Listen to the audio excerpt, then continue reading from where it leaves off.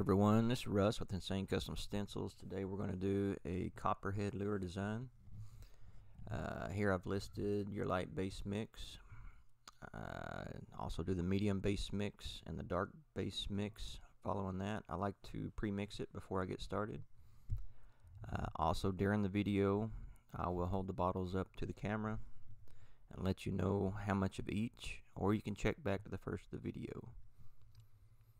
If you'll notice, I've already put the mesh on here. When I got this lure from my customer, uh, he's in Canada. I'm not sure what the name of this lure is.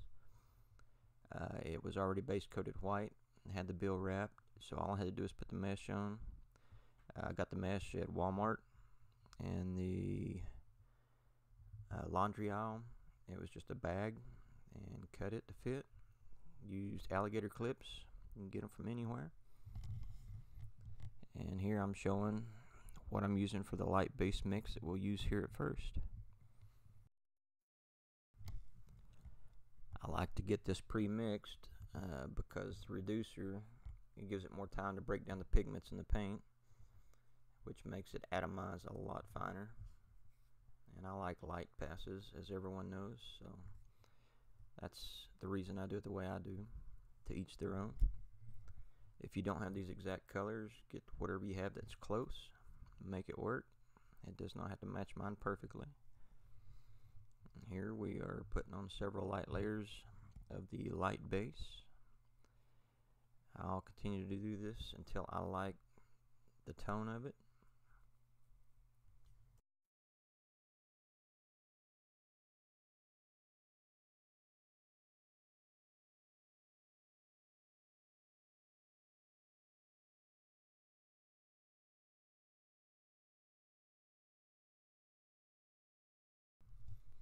I am covering the entire lure. However, I will leave the belly at a lighter color than what I do the rest of the body. From the back down will gradually get darker. And then toward the towards the end of the video, I will actually darken it all some once the mesh is off. But for now, light layers. That way everything will cure well. You don't have to worry about your mesh sticking to any of the paint that's too thick. I'm using around 18 psi with this mix. You can even go lighter on your air pressure.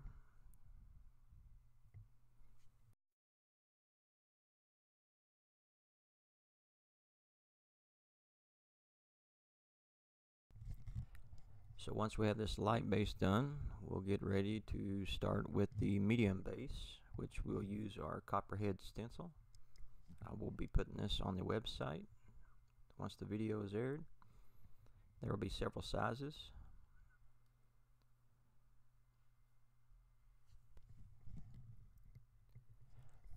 I'll start holding the edge down. Uh, closer you have this stencil to the lure, the sharper your edge will be. If you want a softer edge, raise it up off of the lure just a little give you a softer fade from the underspray. I prefer a tighter edge on these stripes.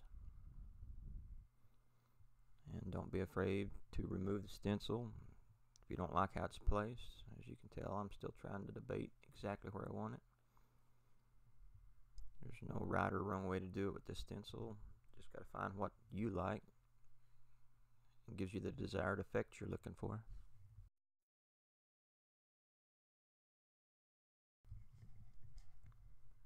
So we'll finish a third stripe here by the eye. And then we'll switch to the other side, complete the same process on the other side, and then spin to the top.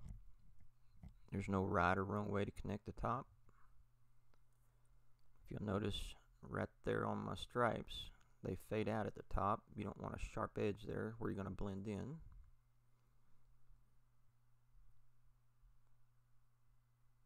Now just gradually carry it over the top.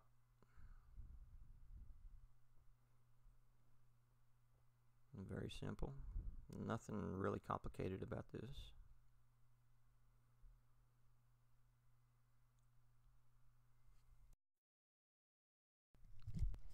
Here I've sped the video up. It is repetitive, so I didn't see any sense in making you guys sit through it at regular speed. This will still give you an idea of my process. Uh, since I'm not hiding anything, I'm just speeding it up. Same as the other side. Just carry your stripes over to the opposite side.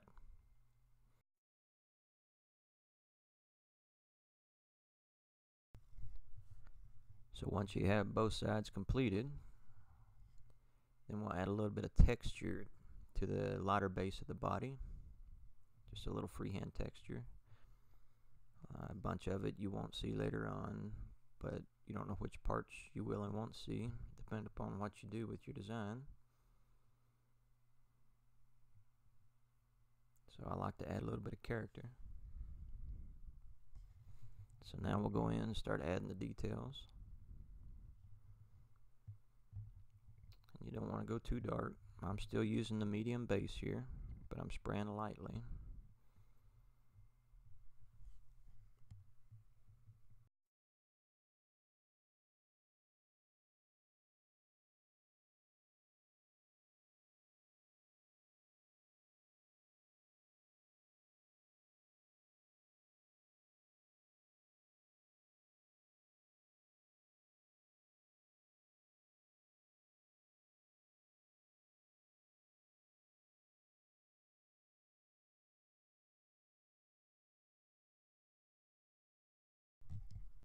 So now we'll come in with the dark base.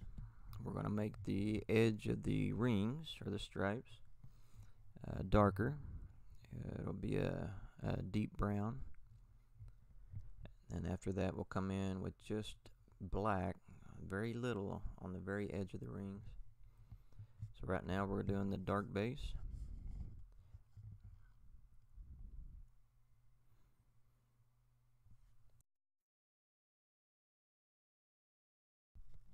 So now you'll take your dark base mix, your dark brown, and you just want to hit the edge of the rings, leaving the medium base still showing predominantly in the middle. Just want to fade dark on the edge of the ring to light in the middle of the rings.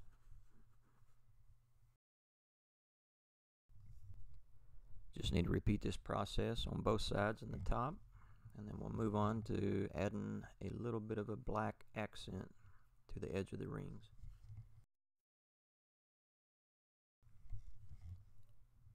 So we'll continue using our dark base here to finish our rings. I've sped this up as it is repetitive, so we'll keep the video rolling. You'll still be able to see what I'm doing.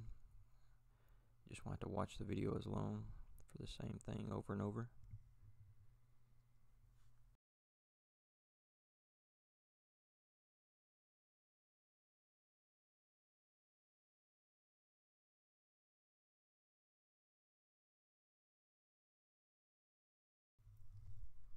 Repeat the same process on the opposite side. And then tying your tops.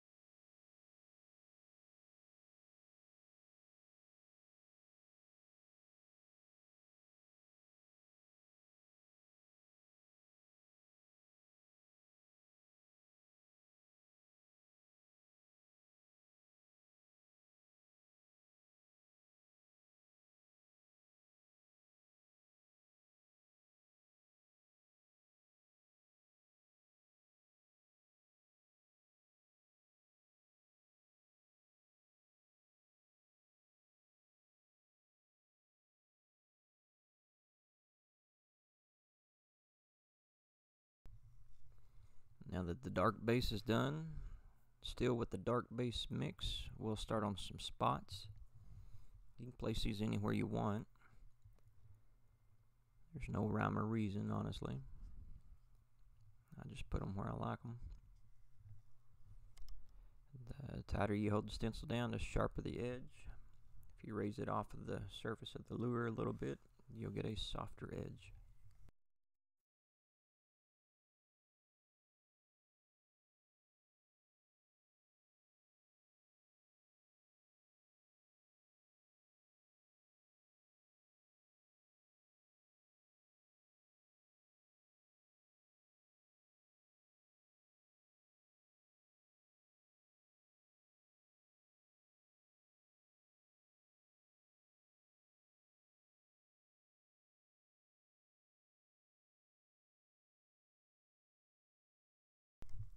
Now we'll come in with a 10, 10 drops of reducer, 40-20, 10 drops of black. Spray at low air pressure. I'm spraying at about 12 psi. You don't have to spray that low, just watch your overspray. We're only trying to do the very edge of the rings here.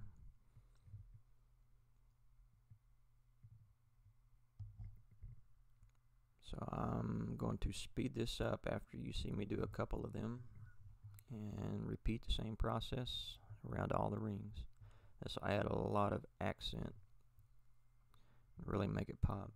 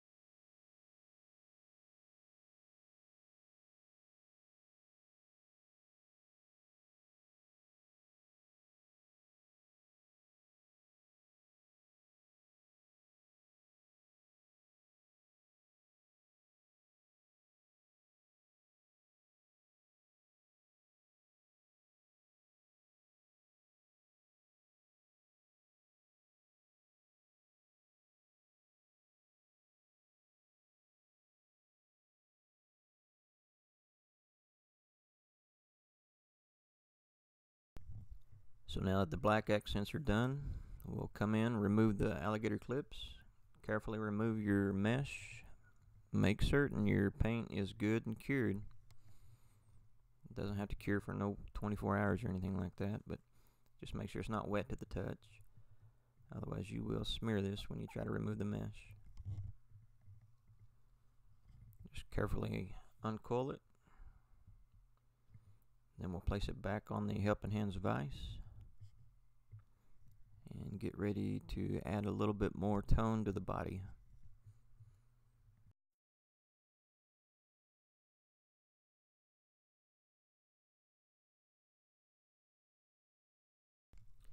So now the mesh is removed, I'll put the mix that we'll be using to add tone to the body on the screen here. I'm spraying this at 18 psi. Nice, easy layers light layers. You don't want to overdo it and flood it. got all your hard work, you don't want to ruin it. So go easy.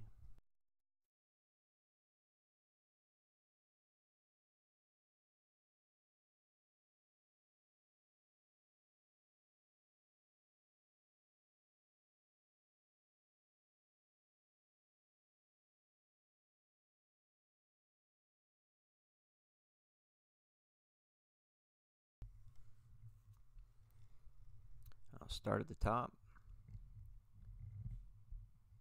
work my way down the side, leaving the belly light and the back darker.